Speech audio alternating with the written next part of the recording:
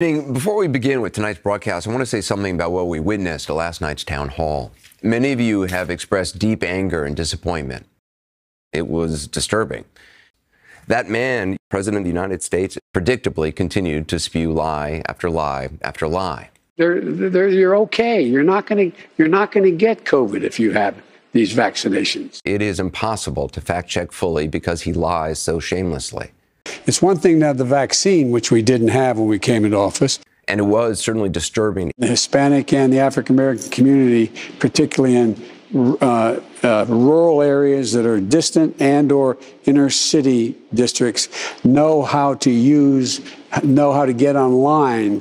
You have every right to be outraged today and angry and never watch this.